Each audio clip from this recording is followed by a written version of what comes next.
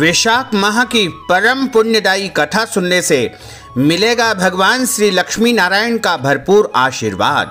होगी सारी मनोकामनाएँ आपकी पूरी। मित्रों, सादर जय श्री कृष्ण। हमारे YouTube चैनल में आप सभी का बहुत बहुत स्वागत है। मैं हूँ आपके साथ आचार्य धर्मेंद्र शास्त्री।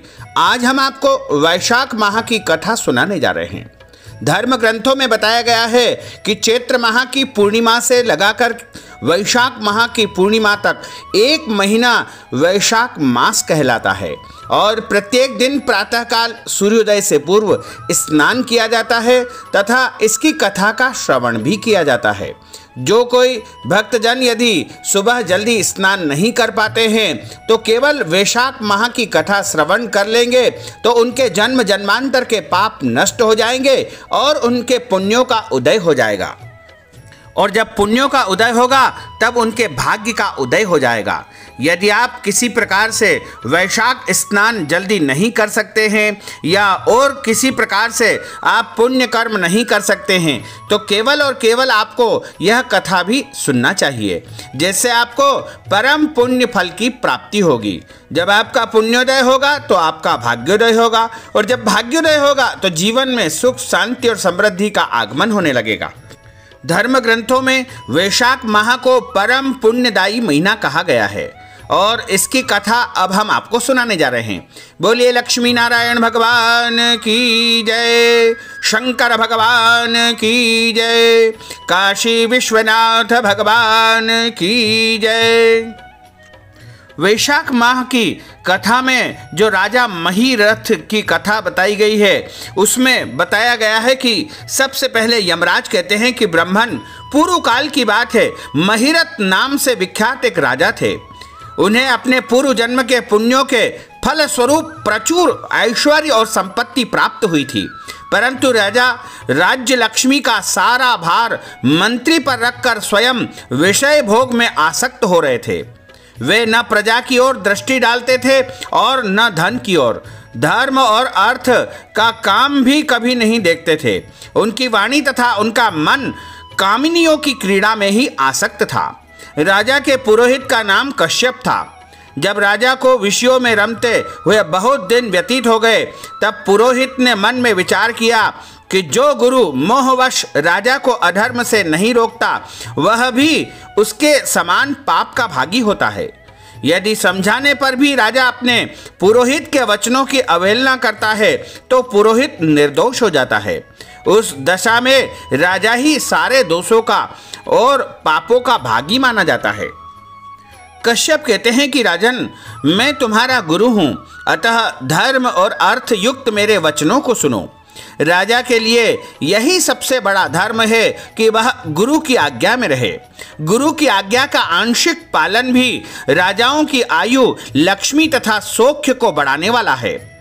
तुमने दान के द्वारा कभी ब्राह्मणों को तृप्त नहीं किया है। भगवान श्री हरि विष्णु की आराधना नहीं की है।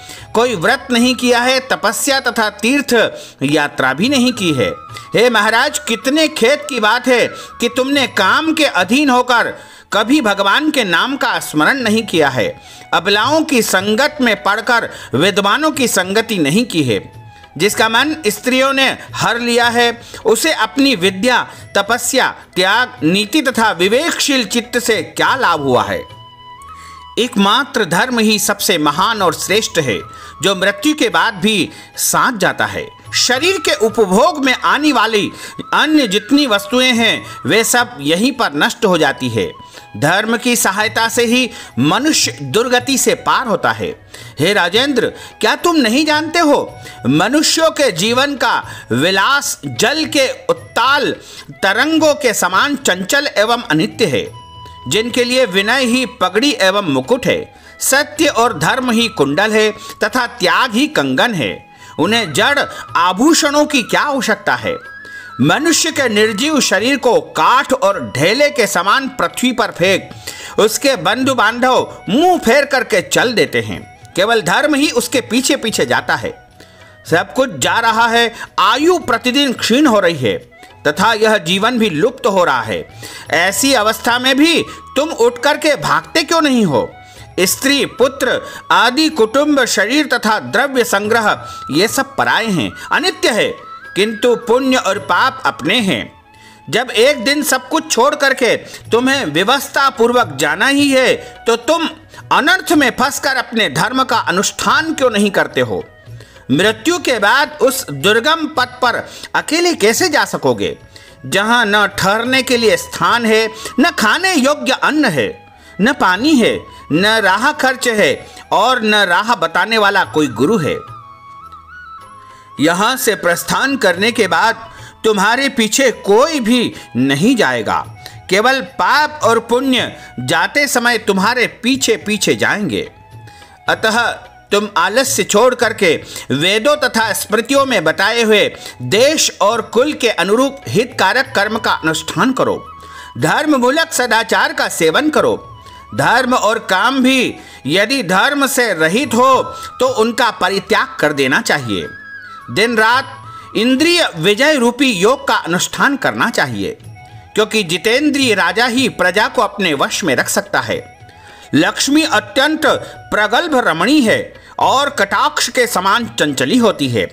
विनय रूपी गुण धारण करने से ही वह राजाओं के पास दीर्घ काल तक ठहरती है।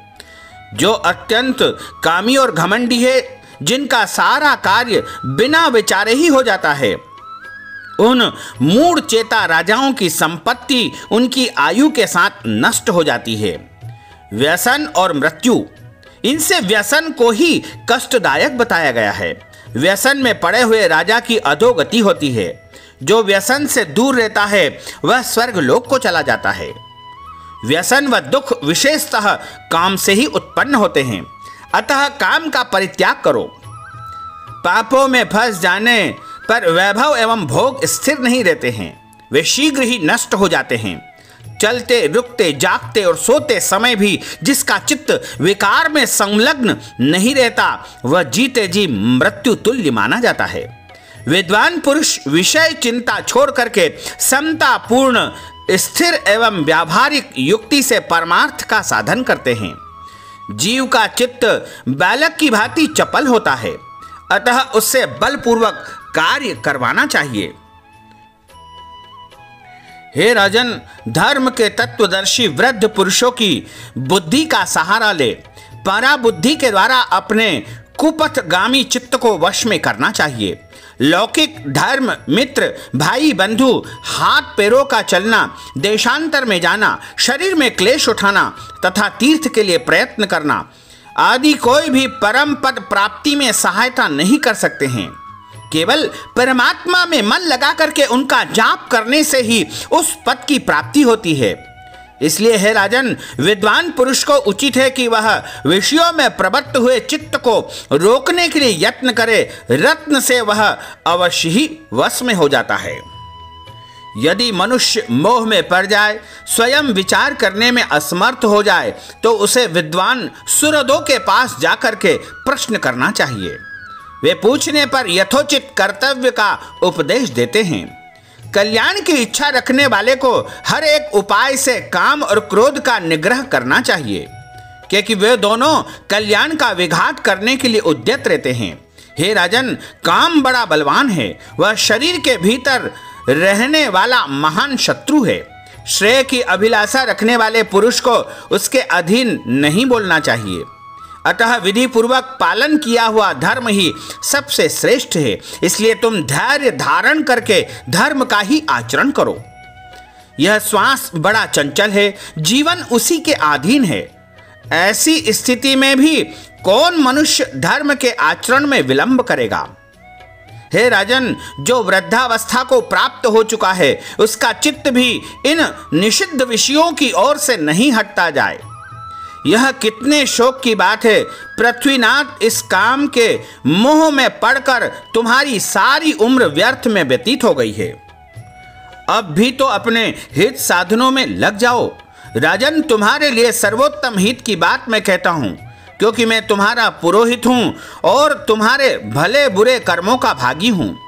मुनीश्वरों ने ब्रह्म हत्या, सुरापान, चोरी, गुरु पत्नी गमन आदि महापातक बताए गए हैं। उनमें से मनुष्यों द्वारा वर्ण मन वाणी और शरीर से किए हुए जो पाप है, उन्हें वैशाख मास समाप्त कर देता है।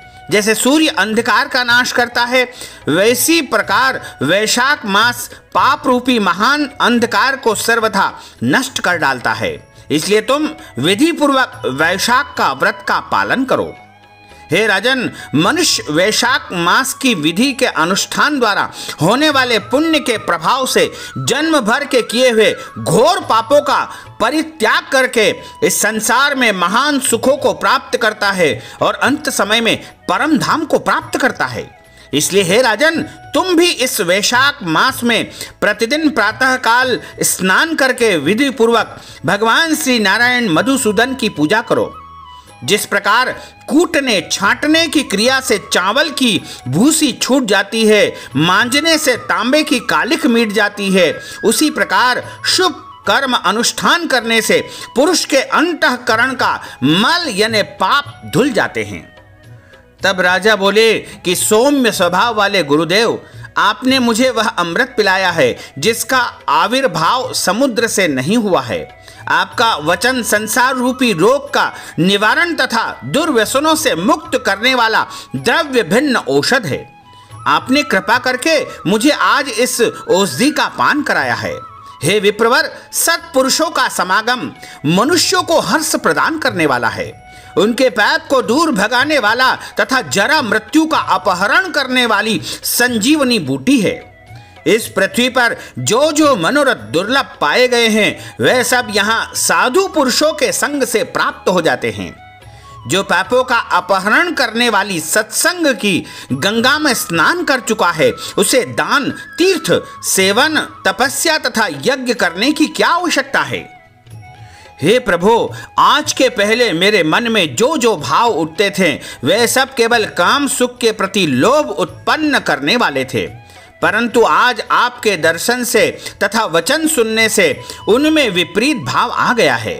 मूर्ख मनुष्य एक जन्म के सुख के लिए हज़ारों जन्म के सुख नष्ट करता है और विद्वान पुरुष का एक जन्म से हज़ारों जन्म बना लेते हैं। हाय हाय, कितने खेत की बात है कि मुझ मूर्ख ने अपने मन को सदा काम जनित रस के असास्वादन सुख में ही फंसाए रखने के कारण कभी कुछ भी आत्म कल्याण का कार्य नहीं किया है। ओहो, मेरा मन कैसा मोह है, जिससे मैंने स्त्रियों के फेर में पढ़कर अपनी आत्मा को घोर विपत्ति में डाल दिया है। जिसका भविष्य अत्यंत दुखमय है, जिससे पार पाना बहुत कठिन है। भगवान, आपने स्वतः संतुष्ट होकर अपनी वाणी से आज मुझे मेरी स्थिति का बोध करा दिया है। अब उपदेश देकर के मेरा उद्धार कीजिए। पूर्व जन्म में मैंने कोई पुण्य किया था जिससे आपने मुझे बोध कराया है। विशेषतः आपके चरणों की धूली से आज मैं पवित्र हो गया हूँ। वक्ताओं में श्रेष्ठ, अब आप मुझे वैशाख मास की संपूर्ण विधि विस्तार पूर्वक बताइए। कश्यप बोले, हे राजन, बुद्धिमान पुरुष को चाहिए कि वह बिना पूछे अथवा अन्याय पूर्वक पूछने पर भी किसी को उपदेश न दे। लोक में जानने हुए भी जड़वत अनजान की भांति आचरण करे। परंतु विद्वान शिष्यों, पुत्रों तथा श्रद्धालु पुरुषों को उनके हित की बात कृपा पूर्वक बिना पूछे भी बतानी चाहिए। राजन, इस समय तुम्हारा मन धर्म में स्थित हुआ है। अतः तुम्हें वैशाख स्नान के उत्तम व्रत का पालन कराऊँगा। उसके बाद पुरोहित कश्यप ने राजा महीरथ से वैशाख मास में स्नान दान तथा पूजन कराया। शास्त्र में वैशाख स्नान के जैसी विधि उन्होंने देखी थी, उसका पूरा पूरा पालन करवाया। राजा महीरथ ने भी गुरु की प्रेरणा से उस समय विधि पूर्वक सब नियमों का पालन किया, तथा माधव मास का जो जो विधान उन्होंने बताया, वह सब आदर पूर्वक सुना। उन नृप श्रेष्ठ ने प्रातः काल स्नान करके भक्ति भाव के साथ पाद्य अर्घ्य देकर के श्री हरि नारायण का पूजन किया, तथा उनको भोग लगाया। यमराज कहते हैं कि ब्राह्मण तत्पश्चात राजा के ऊपर काल की दृष्टि पड़ी। अधिक मात्रा में रति का सेवन करने से उन्हें क्षय रोग लग गया, जिससे उनका शरीर अत्यंत दुर्बल हो गया। अंत तो गत्वा राजा की मृत्यु हो गई। उस समय मेरे तथा भगवान विष्णु के दूत भी उन्हें लेने के लिए पहुँचते हैं। विष्णु दूतों ने ये राजा धर्मात्मा है, यो कहकर मेरे सेवकों को डांटा और स्वयं राजा को विमान में बैठा करके वैकुंठ लोक को ले गए। वैशाख माह में प्रातःकाल स्नान करने से राजा के सारे पाप नष्ट हो चुके थे। भगवान विष्णु के दूत अत्यंत चतुर थे। वे भगवान की आज्ञा के अनुसार राजा महीरथ को नरक मार्ग के निकट से ले चलते। जाते जाते राजा ने नरक में पकाए जाने के कारण घोर चित्कार करने वाले नारकी जीवों का अंतरनाथ सुना। कड़ाह में डाल करके ओटाए जाने वाले पापियों का क्रंदन बड़ा भयंकर सुना। सुनकर के राजा को बड़ा विस्मय हुआ। वे अत्यंत दुखी होकर के दूते से बोले कि, जीवों के करहाने की यह भयंकर आवाज़ क्यों सुनाई दे रही है? इसका क्या कारण है? आप लोग सब बातें कृपा करके मुझे बताने की कृपा करें। भगवान विष्णु के दूत बोले, जिन प्राणियों ने धर्म की मर्यादा का परित्याग किया है, जो पापाचारी एवं पुण्यहीन है, वे तामिश्र आदि भयंकर नरकों में डाले गए हैं। पापी मनुष्य प्राण त्याग के पश्चात यमलोक के मार्ग में आकर भयानक दुख को भोगते हैं।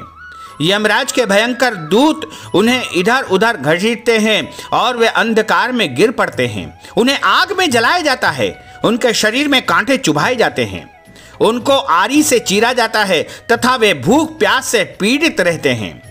पीव और रक्त की दुर्गंध के कारण उन्हें बार बार मूर्छा आ जाती है।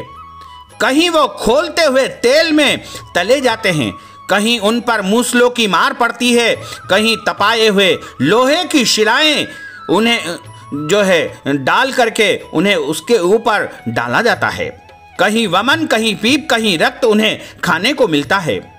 मुर्दों की दुर्गंध से भरे हुए करोड़ों नरक है, जहाँ शरपत्र वन है, शिलापात के स्थान है, जहाँ पापी शिलाओं पर पटके जाते हैं।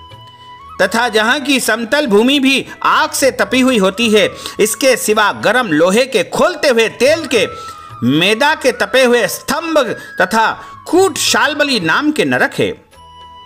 चुर्रे, कांटे, कील और उग्र ज्वाला के कारण क्षोभ एवं भय उत्पन्न करने वाले बहुत से नरक है। कहीं तपी हुई वेतरणी नदी है, कहीं पीप से भरे हुए अनेकों कुंड है। इन सब में पृथक पृथक पापियों को डाला जाता है। कुछ नरक ऐसे हैं जो जंगल के रूप में हैं, वहाँ के पत्ते तलवार की धार के समान तीखे हैं। इसी से उन्हें असी पत्र वन कहते हैं, वहाँ प्रवेश करते ही नर नारियों के शरीर कतने और कटने लग जाते हैं और छिलने लग जाते हैं। कितने ही नरक, घोर अंधकार तथा आग की लपटों के कारण अत्यंत दारुण प्रतीत होते हैं। इनमें बार बार यातना भोगने के कारण पापी जीव नाना प्रकार के स्वरों में रोते हैं और विलाप करते हैं। हे राजन, इस प्रकार ये शास्त्र विरुद्ध कर्म करने वाले पापी जीव करहाते हुए नरक यातना का कष्ट भोग रहे हैं। उन्हीं का यह क्रंदन हो रहा है, सभी प्राणियों को अपने पूर्वकृत कर्मों को भोगना पड़ता है। पराई स्त्री का संग प्रसन्नता के लिए किया जाता है, किंतु वास्तव में यह दुख ही देने वाला होता है। दो घड़ी तक किया हुआ विषय सुख का आस्वादन अनेक कल्पों तक दुख देने वाला होता है। हे राजेंद्र, तुमने वैशाख मास में प्रातः स्नान किया है। उसकी विधि का पालन करने से तुम्हारा शरीर पावन बन गया है। उससे छूकर बहने वाली वायु का स्पर्श पाकर ये क्षण भर के लिए सुखी हो गए हैं। तुम्हारे तेज से इन्हें बड़ी तृप्ति मिल रही है। इसी से अब ये नरकवर्ती जीव करहाना छोड़ करके चुप हो गए हैं। पुण्यवानों का नाम भी यदि सुना या उच्चारण किया जाए तो वह सुख का साधक होता है। तथा उसे छूकर चलने वाली वायु भी शरीर में लगने पर बड़ा सुख देती है। नामापि पुण्यशीला नाम श्रुतम सौख्याय कीर्तिनाम। जायते तद्वपु स्पर्श वायु स्पर्श सुखा वहा यमराज कहते हैं कि करुणा के सागर राजा महीरथ अद्भुत कर्म करने वाले भगवान श्री विष्णु के दूतों की उपयुक्त बात को सुनकर के द्रवित हो उठे। निश्चय ही साधु पुरुषों का हृदय मक्खन के समान होता है। जैसे नवनीत की आग की आँच पिघल जाती है, उसी प्रकार साधु पुरुषों का हृदय भी दूसरों के संताप से संतप्त होकर के द्रवित हो जाता है। उस समय राजा ने दूतों से कहा राजा बोले, इन्हें देख करके मुझे बड़ी व्यथा हो रही है। मैं इन व्यथित प्राणियों को छोड़ कर के जाना नहीं चाहता। मेरी समझ में सबसे बड़ा पापी वही है, जो समर्थ होते हुए भी वेदनाग्रस्त जीवों का शोक दूर न कर सके।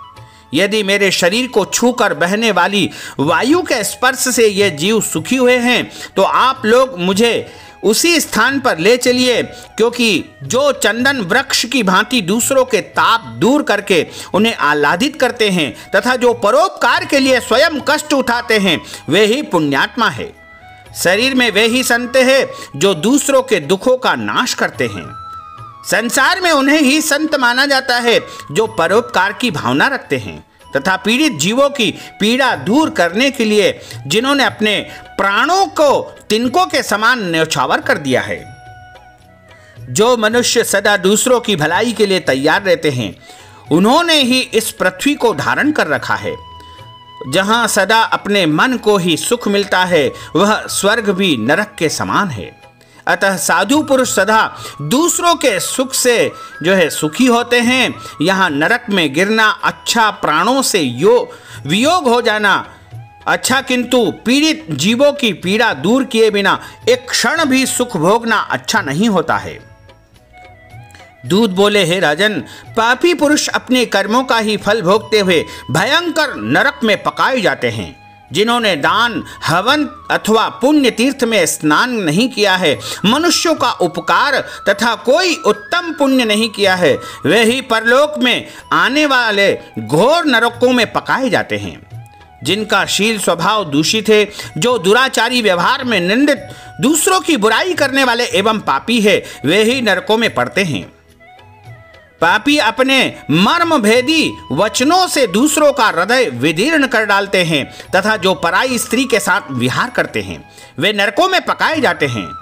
हे महाभाग, भूपाल, आओ। अब भगवान के धाम को चले। तुम पुण्यवान हो, अतः अब तुम्हारा यहाँ ठहरना उचित नहीं है। राजा ने कहा कि, हे विष्णुदूतगण, यदि मैं पुण्यात्मा हूँ तो इस महाभयंकर यम यातना मार्ग में कैसे लाया गया? मैंने कौन सा पाप किया है तथा किस पुण्य के प्रभाव से मैं विष्णु धाम को जाऊँगा? आप लोग मेरे इस संशय को कृपा करके दूर करने की कृपा करें। दूध बोले, तुम्हारा मन काम के अधीन हो रहा था, इसलिए तुमने कोई भी पुण्य, यज्ञ अनुष्ठान अथवा यज्ञावशिष्ट अन्न का भोजन नहीं किया है, इसलिए तुम्हें इस मार्ग से लाया गया है। किंतु लगातार तुमने तीन वर्षों तक गुरु की प्रेरणा से वैशाख मास अमस में विधि पूर्वक प्रातः स्नान किया है। तथा महापापों और अति पापों की राशि का विनाश करने वाले भक्त वत्सल विश्वेश्वर भगवान मधुसूदन की भक्ति पूर्वक पूजा की है। यह सब पुण्यों का सार है। केवल एक ही पुण्य से तुम देवताओं द्वारा पूजित होकर श्री विष्णु धाम को ले जाए जा रहे हो। है नरेश्वर, जैसे एक ही चिंगारी पड़ जाने से तिनकों की राशि भस्म हो जाती है, उसी प्रकार वैशाख में प्रातः स्नान करने से सारे मनुष्य के जन्म जन्मांतर के एक एक पाप जल करके भस्म हो जाते हैं। और वह प्राणी हरि भक्त पुरुष अति पापों के समूह से छुटकारा पा करके विष्णु पद को प्राप्त कर लेता है। यमराज कहते हैं कि ब्राह्मण तब दया सागर राजा ने उन जीवों के शोक से पीड़ित भगवान विष्णु के दूतों से विनय पूर्वक कहा, साधु पुरुष प्राप्त हुए ऐश्वर्य का गुणों तथा पुण्य का यही फल मानते हैं। इनके द्वारा कष्ट में पड़े हुए जीवों की रक्षा की जाए। यदि मेरा कुछ भी पुण्य हो तो उसी के प्रभाव से ये नरक में पड़े हुए जीव निष्पाप होकर के स्वर्ग को चले जाए और इनकी जगह नरक में मैं निवास करूँ। राजा के ऐसे वचन को सुनकर के श्री विष्णु के मनोहर दूत उनके सत्य और उदारता पर विचार करते हुए इस प्रकार बोले, हे राजन, इस दया रूप धर्म के अनुष्ठान से तुम्हारे संचित धर्म की विशेष वृद्धि हुई है। तुमने वैशाख माह में जो स्नान किया है, दान किया है, जप किया है, हवन किया है, तपस्या की है, तथा देव पूजन आदि श्रेष्ठ कर्म किए हैं, वे अक्षय फल देने वाले हो गए हैं। जो वैशाख मास में स्नान दान करके भगवान का पूजन करता है, वो सब कामनाओं को प्राप्त करके भगवान विष्णु के धाम को प्राप्त कर लेता है। एक और तप, दान और यज्ञ आदि की शुभ क्रियाएँ और एक और विधि पूर्वक आचरण में लाया हुआ वैशाख मास का व्रत। यह वैशाख मास ही महान है। हे राजन, वैशाख माह के एक दिन का भी जो पुण्य है, वह तुम्हारे लिए सब दानों से बढ़कर है।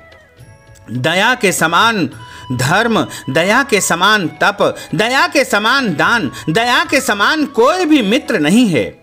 पुण्य का दान करने वाला मनुष्य सदा लाख गुना पुण्य को प्राप्त करता है। विशेषतः तुम्हारी दया के कारण धर्म की अधिक वृद्धि हुई है। जो मनुष्य दुखित प्राणियों का दुख से उद्धार करता है, वही संसार में पुण्यात्मा है। उसे भगवान नारायण के अंश को जानना चाहिए। हे वीर, वैशाख मास की पूर्णिमा को तीर्थ में जाकर जो तुमने सब पापों का नाश करने वाले दान, स्नान आदि पुण्य किए हैं, उसे विधिवत भगवान श्रीहरि को साक्षी बनाकर तीन बार प्रतिज्ञा करके इन पापियों के लिए दान कर दो, जिससे यह नरक से निकल करके स्वर्ग को चले जाए। हमारा तो ऐसा विश्वास है कि पीड़ित जंतुओं को शांति प्रदान करने से जो आनंद मिलता है, उसे मनुष्य स्वर्ग और मोक्ष में भी प्राप्त नहीं कर पाता है। हे सौम्य, तुम्हारी बुद्धि दया एवं दान में दृढ़ है। इसे देख करके हम लोगों को भी उत्साह होता है। राजन, यदि तुम्हें अच्छा जान पड़े तो अब बिना विलंब किए इन्हें वह पुण्य प्रदान करो, जो नरक यातना के दुख को दग्ध करने वाला है। भगवान विष्णु के दूतों के यह कहने पर दयालु राजा महीरथ ने भगवान गदाधर को साक्षी बनाकर तीन बार प्रतिज्ञापूर्वक संकल्प करके उन पापियों के लिए अपने पुण्य को अर्पण कर दिया। वैशाख मास के एक दिन के ही पुण्य का दान करने पर वे सभी जीव यम यातना से दुख से मुक्त हो गए। फिर अत्यंत हर्ष से भरकर वे श्रेष्ठ विमान पर बैठ करके राजा की प्रशंसा करते हुए उन्हें प्रणाम करके स्वर्ग को चल दिए। इस दान से राजा को विशेष पुण्य फल की प्राप्ति हुई। मुनियों और देवताओं का समुदाय उनकी स्तुति करने लगा। तथा वे जगदीश्वर भगवान श्री हरि विष्णु के पार्षदों द्वारा अभिवंदित होकर के उस परम पद को प्राप्त हुए, जहाँ बड़े बड़े योगियों के लिए भी वह स्थान दुर्लभ माना जाता है। हे द्विश्रेष्ठ, यह वैशाख मास और पूर्णिमा का कुछ महात्म यहाँ हमने बताया है। यह धन, यश, आयु तथा परम कल्याण को देने वाला होता है और इससे स्वर्ग तथा लक्ष्मी की भी प्राप्ति होती है। इससे मनुष्य की सारी मनोकामनाएँ पूर्ण हो जाती है और सारे पाप धो डालने वाला है। माधव मास का यह महात्म भगवान माधव को अत्यधिक प्रिय है। राजा महिरथ का चरित्र और हम दोनों का संवाद सुनने, पढ़ने तथा विधिपूर्वक अनुमोदन करने से मनुष्य को भगवान की भक्ति प्राप्त होती है तथा समस्त क्लेशों का नाश हो जाता है। सूत जी महाराज कहते हैं कि धर्मराज की यह बात सुन करके वह ब्राह्मण उन्हें प्रणाम करके वहाँ से चला गया। उसने भूतल पर प्रतिवर्ष स्वयं तो वैशाख स्नान की विधि का पालन किया तथा दूसरों को भी वैशाख स्नान का पुण्य प्राप्त करवाने के लिए प्रेरित किया।